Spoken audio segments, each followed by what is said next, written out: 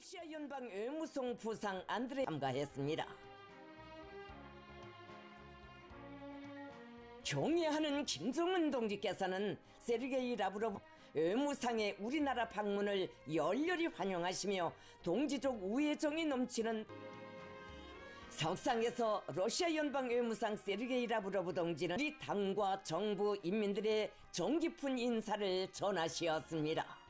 푸친 동지의 따뜻한 인사를 정중히 전해드렸습니다.